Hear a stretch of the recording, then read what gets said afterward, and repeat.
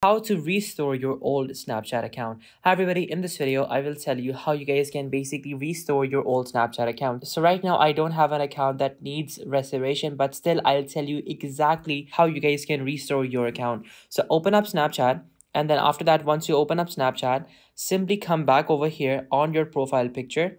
And then after that, from over here, simply click on it and then you guys can just simply click on in your settings and then after that log out. Once you guys log out after that when you guys try logging into your account that needs a restoration it's gonna basically send you an email link to reset your password.